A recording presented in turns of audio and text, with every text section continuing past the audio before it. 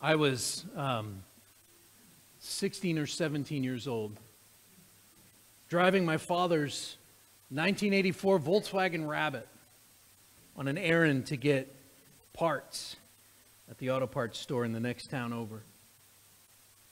I'm not a guy who keeps my wallet in my pocket at all times, and so I forgot to grab it before I jumped in the car and took off. From the factory, that car didn't have a radio, and so I'm not sure what I was doing as I crossed the yellow line on the corner, going at least 15 miles per hour over the speed limit. But the cop coming towards me didn't care. He turned on his blue lights, and before he even turned them on, I knew I was in trouble. I had no ID. I was speeding. I had crossed over the yellow line, but I had two advantages. My shirt said Kidder's Repair Service on it, which is the name of my dad and grandfather's business, and the car was registered in my dad's name. See, not only did my, my dad and my grandfather own a car repair shop in town that that frequently serviced the municipal vehicles, the fire trucks and police cars. They also owned a towing company, and my dad was the only tow truck operator around who would come out in the rain or snow or at night. Pretty much every time dispatch called, he would get up and go. So the police were grateful to him. And as a result, I did not get a ticket that day. Fast forward a few years. Chris and I and the boys had moved to Ohio. And one summer, around maybe 2003 or 2004, something like that, we were back in New Hampshire visiting.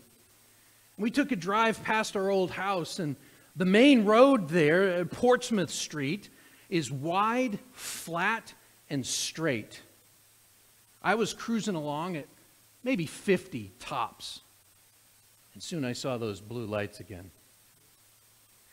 This time my car was registered in my name in the state of Ohio, which is 830 miles from New Hampshire. This policeman did not know my father, and I didn't ask if he knew who I was. I was clearly a foreigner in his eyes even though the first house I ever bought was less than a mile from there. I found out when I got that ticket that the speed limit on that stretch is actually 35 miles per hour. But here's the thing in one case, I wasn't paying attention. And even though I didn't get a ticket, I was still guilty of breaking the law, and I broke it because of my own negligence.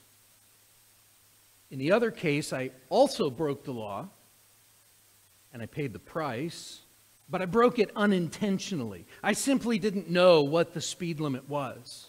I should have. That cop didn't know this, but I used to live right around the corner. I should have known what the speed limit was in that road. See, whether it was through ignorance or through negligence, the law was still broken. So turn with me to Leviticus chapter 4. Uh, we're working our way through this book, and one of the things that we're learning is that in order to follow the argument and, and use this book to help us to understand God, to help us to understand sin and grace and forgiveness, as well as His, His requirements for holiness and how to be conformed to the image of Christ, and in order for us to use this book as Christians, we actually need to take big bites of the book. We need to look at larger passages and see the themes and applications as opposed to going through this verse by verse like we did, um, for example, in the book of First Corinthians or Titus or Gospel of John. And so this morning we're going to be looking at the, the sin offering of chapter 4, which bleeds into chapter 5. And yet we're not going to get all the way through this today because there are some, there's actually some heavy and difficult things here. So this week will act as sort of um, an introduction for next week, I guess we could say, where we're going to get into the actual application for us as Christians, although there are certainly some application in this for us today. And I think this will make more sense as we get into this. So let's read this chapter. This is longer than the chapters that have come before it, and also has some other key differences as well as similarities.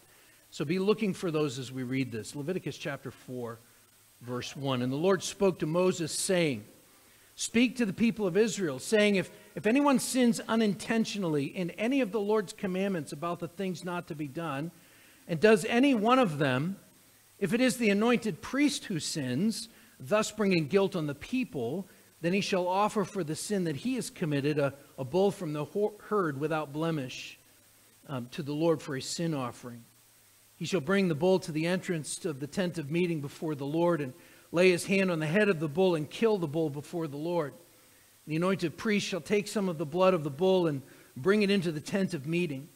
And the priest shall dip his finger in the blood and sprinkle part of the blood seven times before the Lord in front of the veil of the sanctuary. And the priest shall put some of the blood on the horns of the altar and of fragrant incense before the Lord that is in the tent of meeting. And all the rest of the blood of the bull he shall pour out at the base of the altar of burnt offering that is at the entrance of the tent of meeting.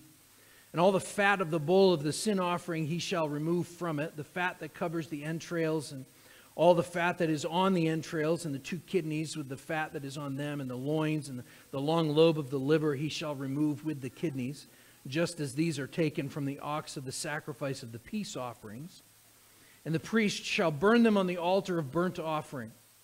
But the skin of the bull and all its flesh, with its head, its legs, its entrails, and its dung, and all the rest of the bull, he shall carry outside the camp to a clean place, to the ash heap, and he shall burn it up on the fire, on a fire of wood. On the ash heap it shall be burned up. If the whole congregation of Israel sins unintentionally, and the thing is hidden from the eyes of the assembly, and they do any one of the things that by the Lord's commandments ought not to be done, and they realize their guilt. When the sin which they have committed becomes known, the assembly shall uh, offer a bull from the herd for a sin offering and bring it in front of the tent of meeting. And the elders of the congregation shall lay their hands on the head of the bull before the Lord. And the bull shall be killed before the Lord. Then the anointed priest shall bring some of the blood of the bull into the tent of meeting, and the priest shall dip his finger in the blood and sprinkle it seven times before the Lord in front of the veil. And he shall put some of the blood on the horns of the altar that is in the tent of meeting uh, before the Lord. And the rest of the blood he shall pour out at the base of the altar of the burnt offering that is at the entrance of the tent of meeting. And all its fat he shall take from it and burn it on the altar. Thus he shall do with the bull as he did with the bull of the sin offering, so he shall do with this. And the priest shall make atonement for them, and they shall be forgiven. And he shall carry the bull outside the camp and burn it up as he burned the first bull. It is the sin offering for the assembly. When a leader sins, doing unintentionally any one of the things that by the commandments of the Lord his God ought not to be done, and realizes his guilt or the sin which he has committed is made known to him, he shall bring as his offering a goat, a male without blemish, and shall lay his hand on the head of the goat and kill it in the place where they kill the burnt offering before the Lord. It is a sin offering. Then the priest shall take some of the blood of the sin offering with his finger and uh, put it on the horns of the altar of the burnt offering and pour out the rest of the blood at the base of the altar of the burnt offering and all its fat he shall burn on the altar, like the fat of the sacrifice of peace offerings. So the priest shall make an atonement for him for his sin, and he shall be forgiven. If any one of the common people sins unintentionally in doing any one of the things that uh, by the Lord's commandments ought not to be done, and he realizes his guilt or the sin which he has committed is made known to him, he shall bring for his offering a goat, a female without blemish, for his sin which he has committed. And he shall lay on his hand his hand on the head of the sin offering and kill the sin offering in the place of burnt offering.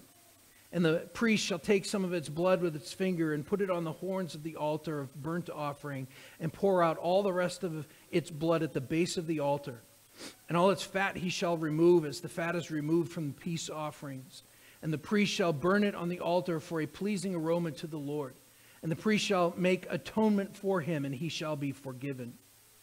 If he brings a lamb as his offering for a sin offering, he shall bring a female without blemish, and lay his hand on the head of the sin offering and kill it for a sin offering in the place where they kill the burnt offering. Then the priest shall take some of the blood of the sin offering with his finger and put it on the horns of the altar of burnt offering and pour out the rest of its blood at the base of the altar. And all its fat he shall remove as the fat of the lamb is removed from the sacrifice of peace offerings. And the priest shall uh, burn it on the altar on top of the Lord's food offerings. And the priest shall make an atonement for him for the sin which he has committed, and he shall be forgiven. Now, let's stop and pray. Father, we pray that you would give us what we need today. We are a needy people. I pray that you would meet our needs through your word. Feed us today, Lord. We pray these things in Jesus' name. Amen. Now, consider the timeline of the Pentateuch, the, the first five books of the Old Testament. Uh, the book of Leviticus was given, the, the laws and the, the, the events surrounding the giving of the law here that we're reading about. This takes place while the nation of Israel was at Mount Sinai. But the events of the book of Genesis take place over a long period of time, over 400 years earlier. So everything in the book of Genesis takes place at least 400 years before the people of Israel received the law of God at Mount Sinai. Actually, probably closer to 500 years. And yet, the first three offerings, chapters 1, 2, and 3, the first three offerings that we have read about the burnt offering, the grain offering, and the peace offering are all found during the time of Genesis, before the law was given. So, for example, all the way back in Genesis chapter 8, verses 20 to 22, we read this Genesis 8 says, Then Noah built an altar to the Lord and took some of every clean animal and some of every clean bird and offered burnt offerings on the altar. And when the Lord smelled the pleasing aroma, the Lord said in his heart, I will never again curse the ground because of man. For the intention of man's heart is evil from his youth. Neither will I ever again strike down every living creature as I have done. While the earth remains, seed time and harvest, cold and heat, summer and winter, day and night shall not cease.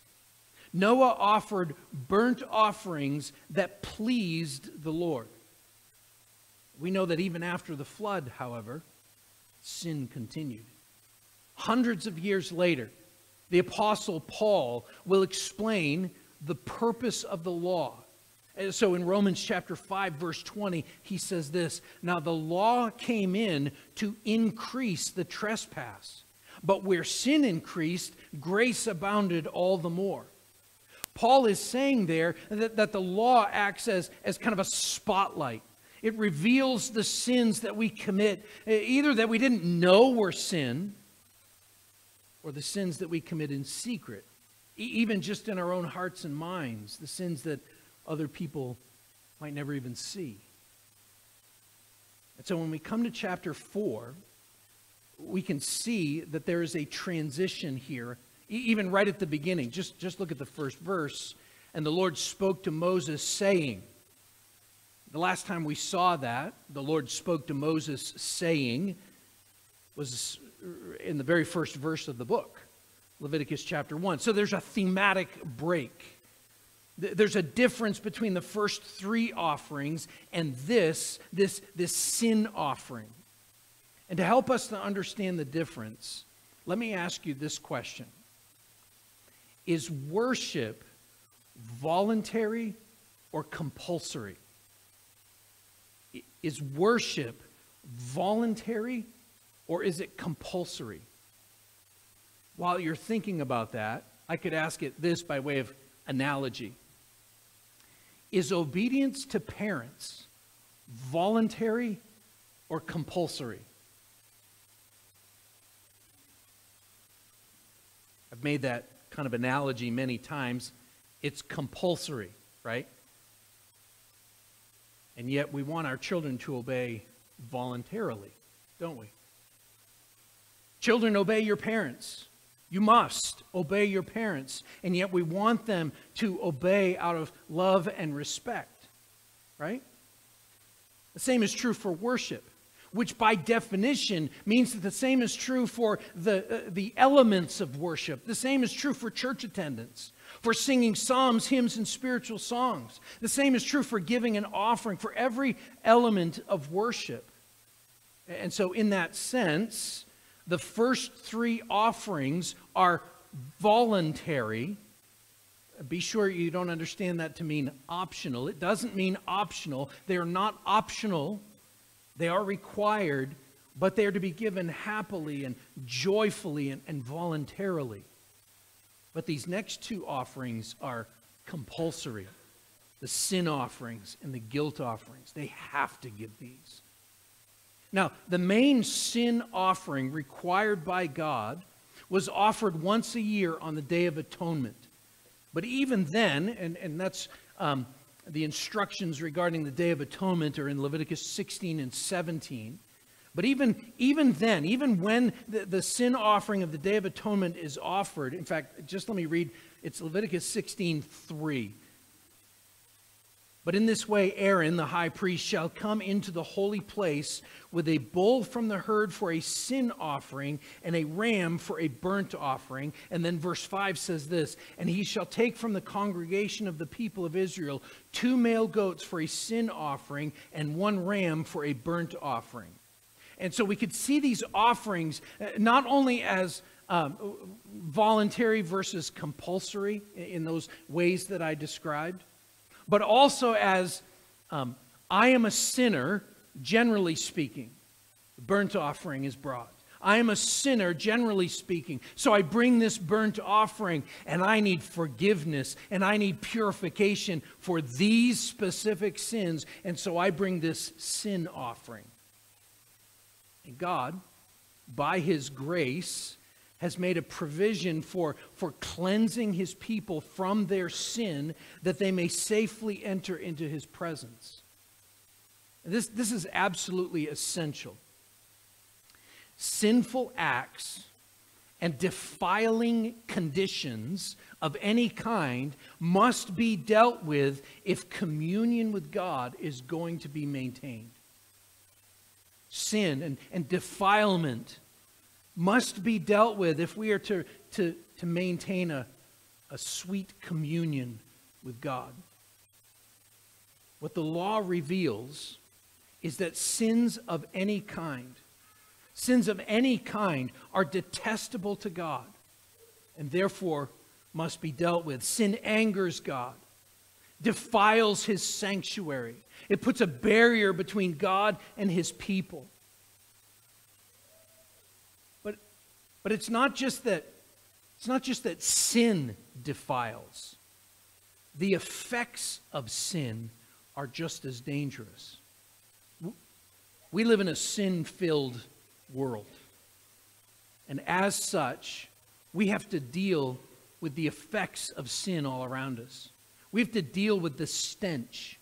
We have to deal with the contamination, the corruption. We have to deal with the diseases. We have to deal with the death. And under the Levitical system in Israel, under this law here specifically, these things, we see this, these things rendered a person unclean and they would bring defilement to God's holy places. Now, remember this as, as we consider all of this. One of the promises of God is he says, I will dwell with my people. And in the Old Testament, he did that in the tabernacle. And then later in the temple after Solomon builds the first temple. Of course, in the New Testament, John tells us in John chapter 1 verse 14, and the word became flesh and dwelt or tabernacled among us, and we have seen his glory, glories of the only Son from the Father, full of grace and truth. And then of course Paul will ask in 1 Corinthians 3:16, he says, "Do you not know that you are God's temple and that God's spirit dwells in you? I will dwell with my people," he has said. This concept of a, of a holy place might be foreign to us because we know that the Holy Spirit dwells in us as Christians, and we are therefore made holy because of the work of Christ. But for the ancient Israelites, they could see they could see the cloud during the day and a pillar or yeah during the day and a pillar of fire at night that indicated God's presence with them God's presence in the tabernacle in a specific place even in the most holy place the, the holy of holies and if they were to come close to God if they were to approach him in worship he says they must first be made clean they must be made clean so here's the thing our holy God will not wink at sin. He's not going to brush it off. A God who is described in the book of Revelation as holy, holy, holy will not say, Don't worry about it. D- don't, don't worry about that. Habakkuk said that God is of purer eyes than to see evil and cannot look at wrong. And that's still true. And so, for the Israelites, the Lord's house, the place where they would meet with him, must be purified. He must deal with their impurities. And so, the sin offering that we're reading about here is a more specialized sacrifice than the, than the burnt offering. And it was therefore, it was offered less frequently than the burnt offering. Burnt offering was offered all the time. The burnt offering said, We're sinners. The sin offering said, Here's how we sinned and we need to be made clean. In order, in order to understand this um, particular offering, we need to understand that, that while this is throughout this chapter and throughout the, the book, it's called a sin offering. The sacrifice also deals with the consequences of sin and the, and the defilements of life that don't necessarily require forgiveness. In fact, I think it might be helpful, um, even though the Bible specifically uses the term sin offering here, it might be helpful for us to also think of this offering as a purification offering. Here, here's what I mean when I say it they don't necessarily require forgiveness. This really trips people up sometimes. Chapter 12 of Leviticus um, I'm just going to read verses 6 and 7, although the whole chapter is about the same thing childbirth. But verses 6 and 7 of Leviticus chapter 12 says this And when the days of her, her purifying are completed, whether for a son or for a daughter, she, that is the new mom, shall bring to the priest at the entrance of the tent of meeting a lamb a year old for a burnt offering, and a pigeon or a turtle dove for a sin offering. And he shall offer it before the Lord and make atonement for her. Then she shall be clean from the flow of her blood. This is the law for her who bears a child, either male or female. Why does the Lord, why does God require a sin offering for a new mom? It's because of Genesis chapter 3, specifically verse 16 which says to, to the woman, He said, I will surely multiply your pain in childbearing. In pain you shall bring forth children. That's part of the curse. Now, we're going to get into this more when we get into chapter 12. But there's, there's nothing inherently sin. We need to be sure that you hear this. There's nothing inherently sinful about childbirth. That's not what this is saying. In fact, we rejoice in hearing the kids. We rejoice that there are kids, that there are pregnant. We pray for them every single week, right? There's nothing inherently sinful, but what's going on here? What's going on is that the effects of sin, the effects of sin being in the world, the direct effect of the curse is there at childbirth and therefore purification was needed. So I do think it is helpful for us to think of this offering as a purification offering. And again, we'll get into that more in chapter 12. This offering is brought really for two different conditions. Uh, we're going to see actually chapters 12 to 15 that this would be brought because of significant, uh, what we could call significant physical impurities, like childbirth, as I said, but then also because of various illnesses or diseases, which also are not necessarily, in fact, frequently, not the fault of the person who is sick, right? We all understand that there is disease in the world because sin is in the world and a person maybe even has cancer, not because they did something wrong necessarily, but because there's sin in the world. Right? And it affects all of us, is the point. The fault of sin being in the world, and so we must be made pure. It's, it's evidence that sin is in the world, and we must be made pure before our holy God. But the second condition in which this offering would be brought is for the condition of, uh, the commission of, as this chapter says, unintentional sin. This chapter deals with particular instructions regarding the offering itself and, and specifically dealing with, with sin but we need to talk about what this sin is because the translation of the phrase unintentional sin actually isn't that perfect, especially to how we hear that. See, unintentional there doesn't, it might, but it doesn't necessarily mean I didn't know it was wrong, like speeding when you didn't see the reduced speed limit ahead sign, or sign was missing, or whatever excuses Ask Steve, he can give you a whole list of excuses that people have given him over the years, I'm sure. Just because you didn't know the law doesn't mean you can get away with breaking the law, right? We, we understand this with, there's all kinds of laws on the books in our nation, in our society, in our, in our state, in our even local town that we don't even know our laws. But just because we don't know the law doesn't mean we can get away with breaking the law. Now, it does mean that, but that's not the extent of it. There's a passage in the book of Numbers um, that I think is helpful for us to understand this. It's Numbers 15, just verses 27 to 31. Numbers 15, 27 to 31. Says this If one person sins unintentionally, he shall offer a female goat a uh, year old for a sin offering. And the priest shall make atonement before the Lord for the person who makes a mistake when he sins unintentionally, to make an atonement for him, and he shall be forgiven. You shall have one law for him who does anything unintentionally, for him who is native among the people of Israel, and for the stranger who sojourns among them. But the person who does anything with a high hand, whether he's a native or a sojourner, reviles the Lord and that person shall be cut off from among his people. Because he has despised the word of the Lord and has broken his commandment, that person shall be utterly cut off. His iniquity shall be on him. So, those verses, Numbers 15, it contrasts the, the unintentional sin with what he calls there a high handed sin.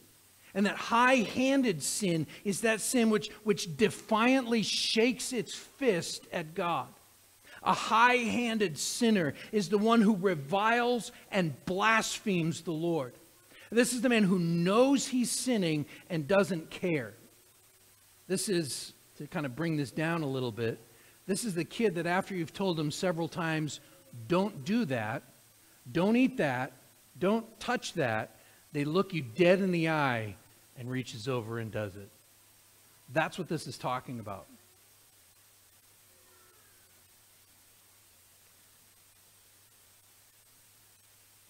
In fact, it says there that they are to be cut off from his people. That person is living in outright rebellion. And so, for the adulterer in the church of Corinth, for example, Paul puts it like this this is in 1 Corinthians chapter 5. He says, When you are assembled in the name of the Lord Jesus and my spirit is present, with the power of our Lord Jesus, you are to deliver this man to Satan for the destruction of the flesh, so that his spirit may be saved in the day of the Lord. So these unintentional sins aren't necessarily just simply sins of oops. this is about repentance. This is about a, a, heart of repentance, a heart that desires to be made clean. This is about the heart that acknowledges that we are sinful to the core, and yet the penitent man desires to be made pure before the Lord. The person with a repentant heart, when his sin is made known to him, repents, turns back to God, says, Yes, I did that. Those who are, those who are truly God's people are concerned with their own purity. They are concerned with the purity of the church. They are concerned with the restoration and communion with God and with his people. There's something else here as well. Did, did you, um, did you notice the similarities and the differences between this offering and the, the burnt offerings, specifically the burnt offerings and the peace offerings of chapters 1 and 3, there's some similarities and some differences. So here, um, the sections, the, the paragraphs that we read, they're, they're not really divided by the type of animal the person brings. I don't know if you noticed that. Whereas they, they are in the, especially in chapter 1, they're actually divided by who is bringing the offering. So, um, as I said earlier, this, this kind of runs over into chapter 5, and we'll get into that in the next week or so. For now, I want to point out kind of the outline here of chapter 4. This, th- there's a lot in here, and it's repetitive, as many of these chapters are, so it's good to see an outline. Um, following an introduction in the first couple of verses here, uh, there's instructions for the anointed priest in, in verse 3 the high priest. Actually, it runs from verse 3 down to verse 12. Then he instructs the entire congregation of Israel, the nation, in, in, verses 13 to 21. Then he says, a leader who sins, verses 22 to 26. And then finally, for common Israelites at the end, in verses 27 through the end of the chapter. And so the priest is instructed to sacrifice a bull as is the whole congregation of Israel when the nation sins in the second section. The leader in the third section is to bring a male goat without blemish, and then common people, normal Israelites, are required to offer either a female goat or a lamb. And then we'll see when we get into chapter 5 that those um, common Israelites who couldn't afford a goat or a lamb were allowed to bring birds um, a couple different kinds of birds. Again, this showing the Lord's kindness. It shows that his grace is available to all who would repent. So, if this whole chapter, or really all of this instruction regarding this particular offering, if this is about sin and defilement, then we can't miss the fact that the sins of the priest, specifically the anointed priest, the high priest, the sins of the priests are weighted heavier than the sins of the other leaders leaders of tribes and clans, even. Verse 22. Likewise, see if you follow this, the sins of the entire congregation require a more costly sacrifice than those for the sins of individuals, common people. Verse 27. So consider a couple passages from the New Testament to pull this together for us. Apply this concept really to us. James chapter 3, verse 1 says this Not many of you should become teachers, my brothers, for you know that we who teach will be judged with greater strictness. Among um, what I believe are some of the most terrifying, for me at least, verses in the New Testament, in Hebrews chapter 13, verses 7 and 17, says this Remember your leaders, those who spoke to you the word of God Consider the outcome of their way of life and imitate their faith.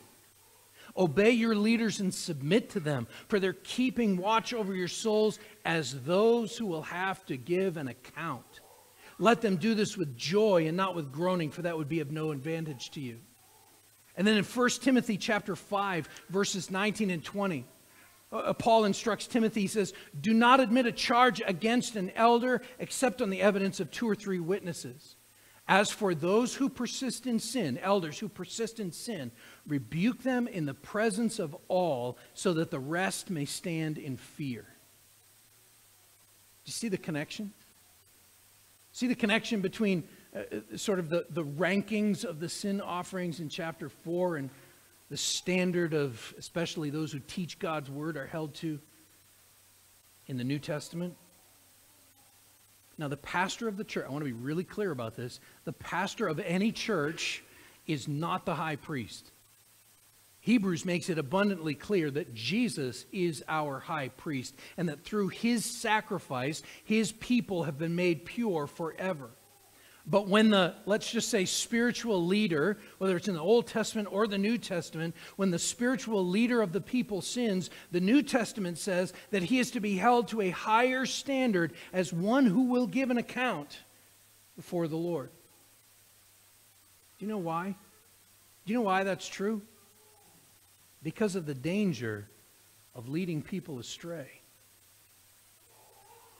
Now, we could go off on an entire tangent here about the ways in which pastors and elders um, can lead their churches into sin.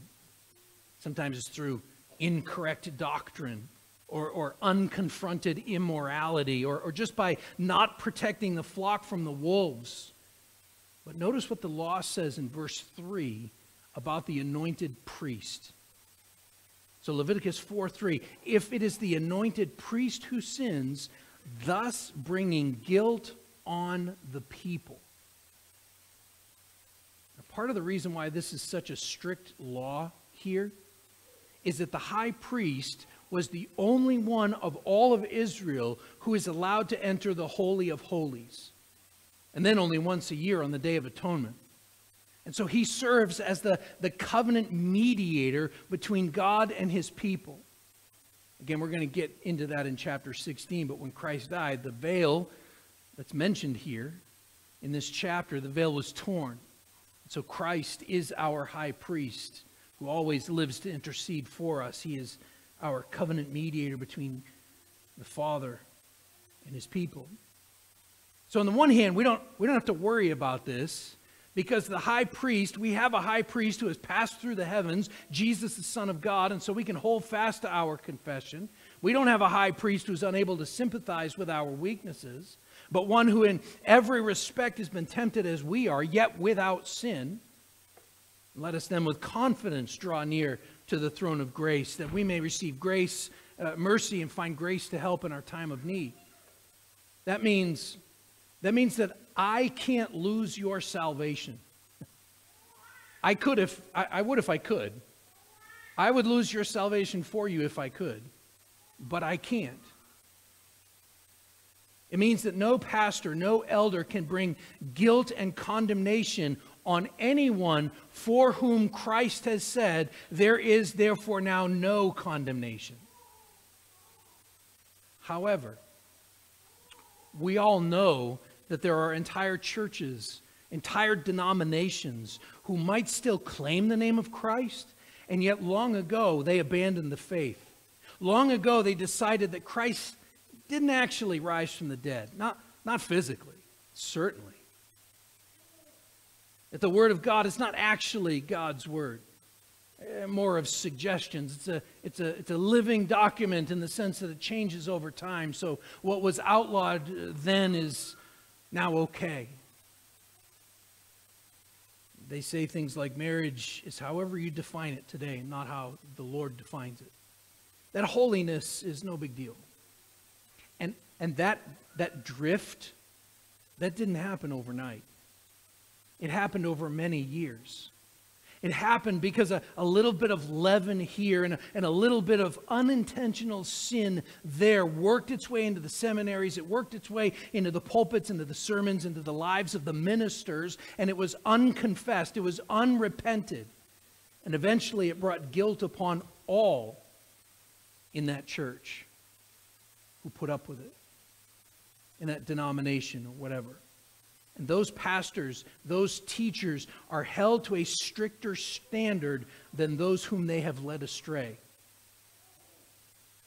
But even for those churches, there is hope. Look at verses 13 and 14. Speaking of the entire congregation of Israel. Verse 13 "And If the whole congregation of Israel sins unintentionally, and the thing is hidden from the eyes of the assembly, and they do any one of the things that by the Lord's commands ought not to be done, and they realize their guilt, the sin which they have committed becomes known, the assembly shall offer a bull from the herd for a sin offering and bring it in front of the tent of meeting, and they shall be forgiven. Jump down at the end there in verse 20, and the priest shall make atonement for them, and they shall be forgiven. Forgiveness, purification, restoration is possible for all who will repent. Let me give you an example. Right now, there are entire congregations within the United Methodist Church denomination. There are entire congregations, entire local churches um, who are at this kind of crossroads. They're trying to decide if they'll leave a denomination that is headed further and further away from biblical authority. And, and if they leave that, where do they go? And even though we might have sharp theological and doctrinal disagreements with them, we need to be praying that the Lord would grant to them genuine repentance and that he would purify those churches just as he's done for this church. We need to be praying for them. Now, contrast that, and some of you know people and love people in those churches, but contrast that with the Church of England, the Anglican Communion. They decided this week, quote, that gay couples would be allowed to come to church after a civil marriage or civil partnership to give thanks, to dedicate their relationship to God, and to receive God's blessing. That is a church, that, that is church sanctioned blasphemy. That's what that is. I don't know if you've noticed this. Um, it's become very apparent in the last few years, really since COVID kind of revealed a lot of the hearts of men. But really, over the past decade, the American church has been seeing a real kind of sorting or sifting. I believe over time, this is going to lead to genuine purifying. Churches, local churches, are having to make a stand on certain cultural issues and, and hot button topics like they've never had to before. Because the real issue at play here is the truth and authority of God's Word. That's what's going on. It's going on all over our society. And I pray that more churches would repent of their theological drift and come back to the truth and authority of God's Word. And we need to be praying. We need to be praying for the church, our brothers and sisters in Christ. There are people in churches with wolves as pastors, as bishops, as whatever, who are believers that are following those who are leading them astray. We need to pray for repentance for these churches.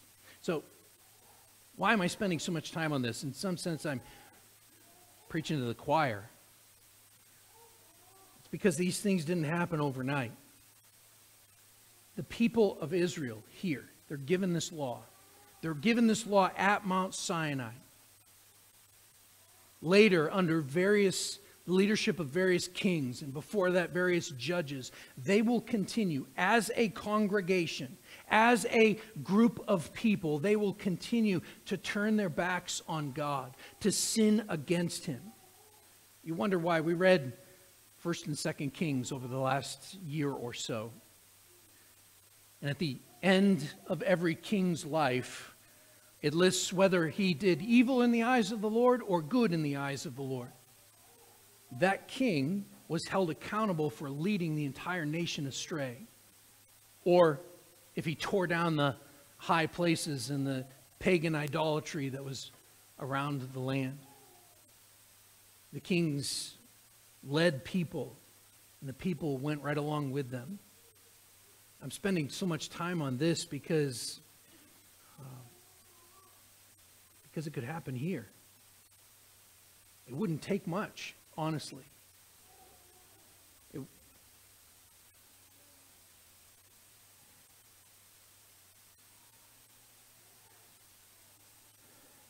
This has happened in churches that we know and that we respect and that we love.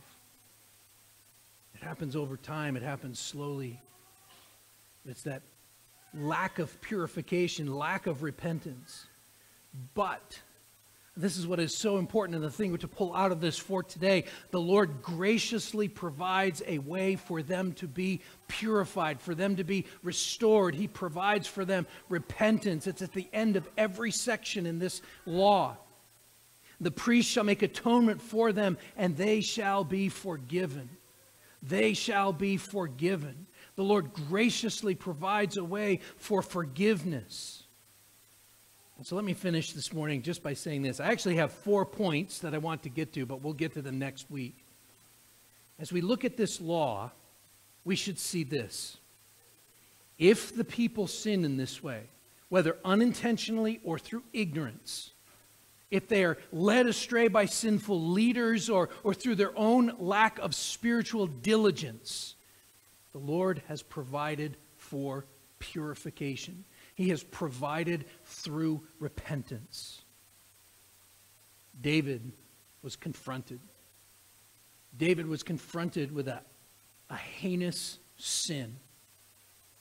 And when confronted, when Nathan said to him, you are that man. David said, Have mercy on me, O God, according to your steadfast love. According to your abundant mercy, blot out my transgressions. Wash me thoroughly from my iniquity. Cleanse me from my sin. Purge me with hyssop, and I shall be clean. Wash me, and I shall be whiter than snow. That is the that is the heart of repentance. Who shall ascend the hill of the Lord? The man with clean hands and a pure heart. Those who have been washed clean by the blood of the Lamb. Pray with me. Father, as we consider these things, and some of this is so hard to get our mind around because we are we're so inundated. Sin just sin and the effects of sin are all around us. Some are missing today because of colds, Lord. The reason that there are colds, the reason that there are chest colds and head colds and allergies and all of those things is because there is sin in the world. Because the world is so broken. And yet, Lord, we we know that we can be made clean, that we can be purified, that we can be forgiven for our sins and the effects of our sin that is all around us through the blood of the Lamb that was slain.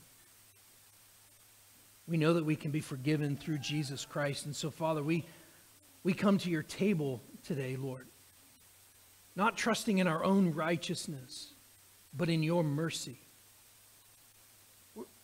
We're not worthy to gather up crumbs from your table, and yet you are merciful and gracious.